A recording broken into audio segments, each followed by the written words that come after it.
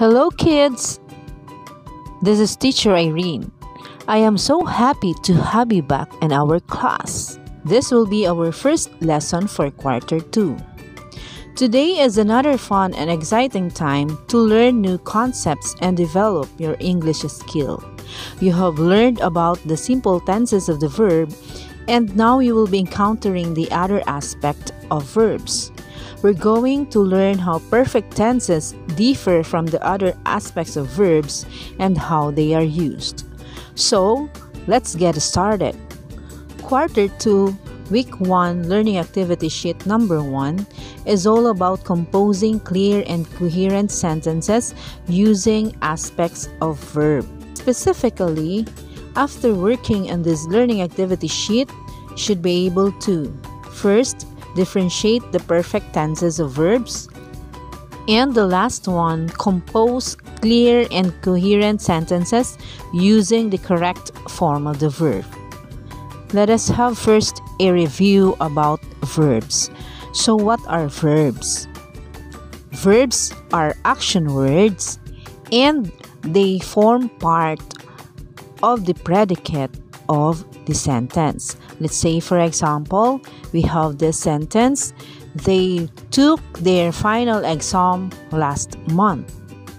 So the subject is they and predicate took their final exam last month. The verb is took. So let us answer this initial activity. Identify the verb used in each sentence Write your answer on the space provided before each number. So for number one, we have water freezes at 0 degrees Celsius. So what is the verb in the sentence?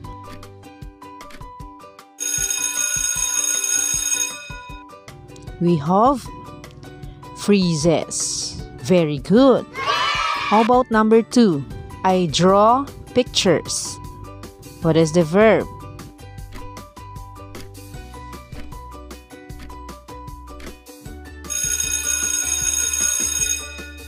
Draw. Correct. How about number three? She forgets her purse. What is the verb?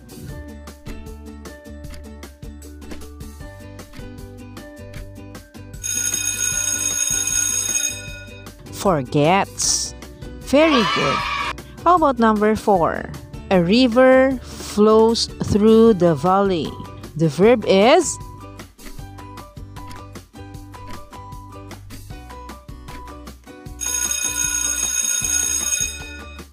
flows.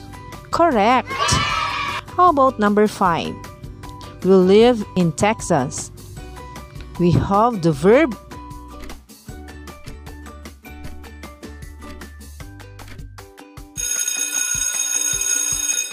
live. Very good. Let us now proceed to our new lesson. We have this perfect tenses. So, this tense of the verb is used to indicate a completed or perfected action or condition. There are three perfect tenses. We have the present perfect tense, the past perfect tense, and the future perfect tense.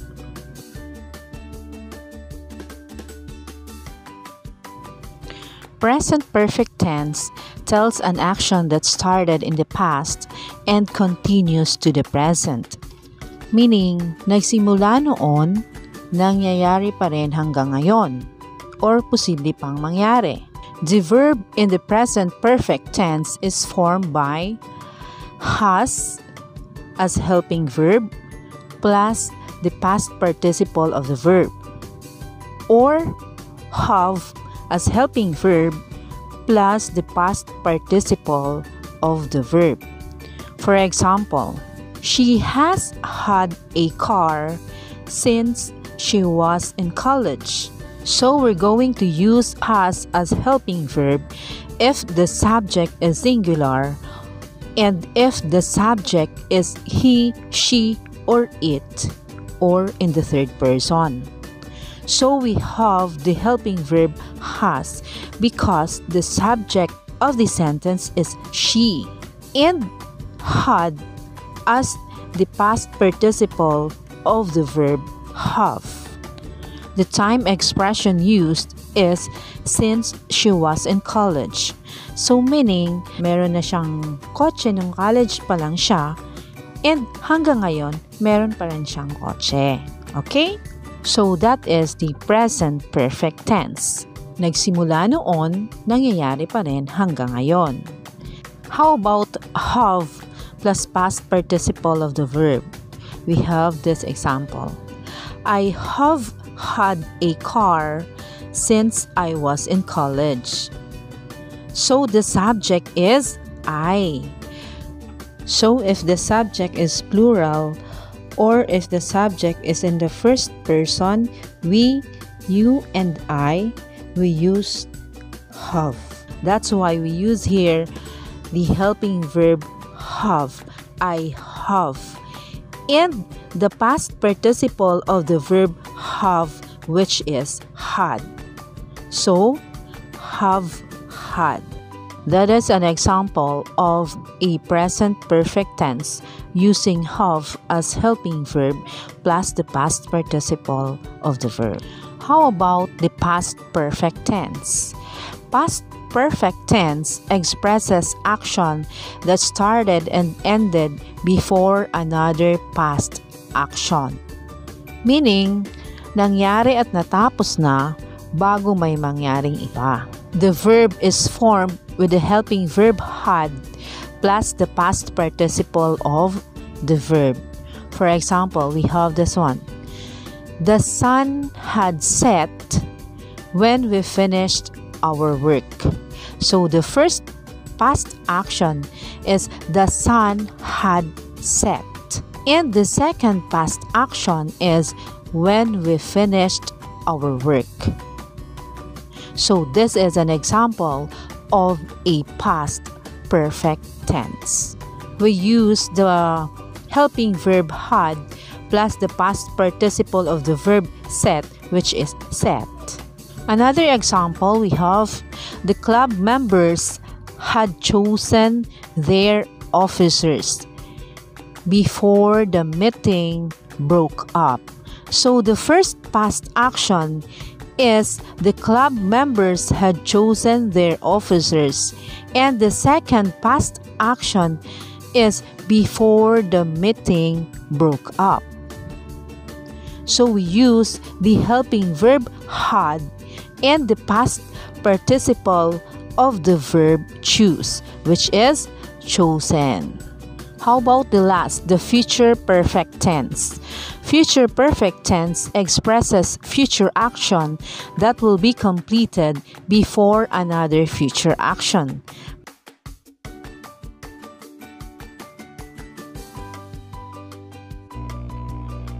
The verb is formed with a helping verb shall have or will have plus the past participle of the verb.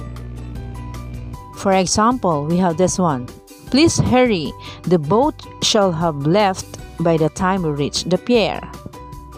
So the first future action is the boat shall have left. And the second future action is by the time we reach the pier. Another example, aren't all the participants here yet? The program shall have begun before they arrive. So the first future action is the program shall have begun and the second future action is before they arrive. So these are examples of the future perfect tense. So let us practice. Turn your learning activity sheet to page 4. Copy the verbs used in each sentence Classify them according to the tense of the verb by checking the column in the table where they belong. So for number one, we have Liza and Lulu stay home all the time. So we have this table, the verb, we have the simple tense, we have the present, the past, and the future. We are done with this simple tenses, the simple present, simple past, and the simple future. Our lesson in quarter one. And we have this perfect tense, the present, the past, and the future. So you're going to identify the verb use in each sentence. So for number one, Liza and Lulu stay home all the time. What is the subject first? Liza and Lulu. And the verb use is stay. So, stay is what? Simple present tense. Correct. How about number two? Liza and Lulu have stayed in their house since March. So we have the subject again, Liza and Lulu. And the verb, have stayed. So, have stayed, that is an example of a present perfect tense. Correct. So, present perfect tense is formed by have plus past participle of the verb. So, we use the helping verb have because the subject is plural. Liza and Lulu. So have stayed. Stayed as the past participle of the verb stay. Correct. So you're going to copy the verb have stayed. How about number three? They took their final exam last month. About number four? They had taken their final exam before their place was put on lockdown. Number five, they will keep themselves busy tomorrow. Number six, they shall have kept themselves healthy before classes open again. So, that's all for Let Us Practice. Let us always remember that verbs can appear in any of the three perfect tenses. We have the present perfect, the past perfect, and the future perfect. Present perfect tense indicates action that started in the past and continues to present, or the action that has just been finished at the time of speaking, and action that happened recently at an indefinite time. How about the past perfect tense? It indicates action that started and ended before another past action. And the future perfect tense indicates future action that will be completed before another future action. Turn your learning activity sheet to page 5. Let us practice more. Read and analyze the following sentences. Identify the tense of each underlined verb. Write PR for present perfect tense, PA for past perfect tense, and FU for future perfect tense. Write your answer on the space provided before each number. So we have number one, we have written each other about it for a year. So we have the underlined verb have written. So, what kind of tense is that? Present perfect tense. Correct.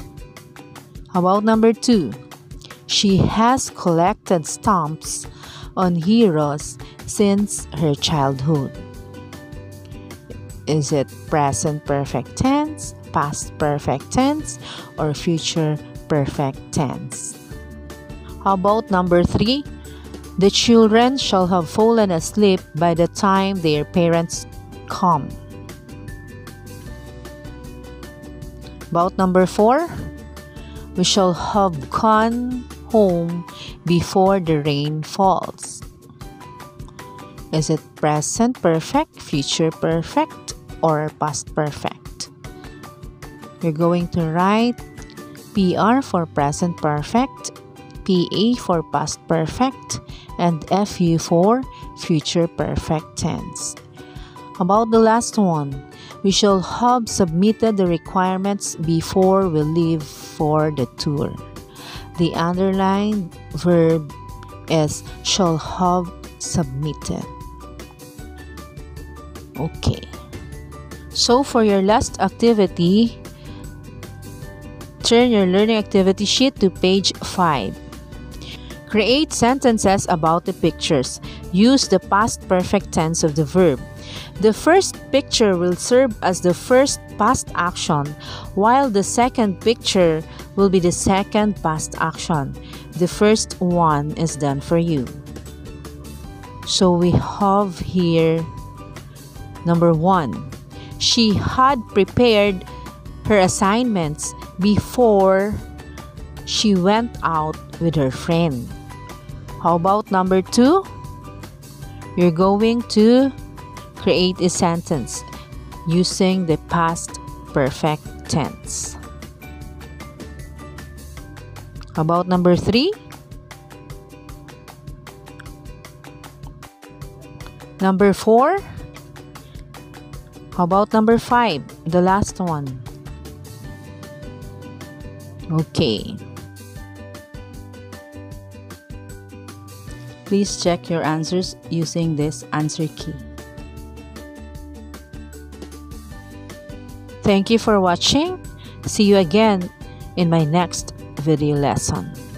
Credits to Mom Renee G. Higo and Mom Romadel Gonzalo for the learning activity sheet. And also credits to my video editor Ati Tintin. This is Teacher Irene saying thank you everyone. God bless.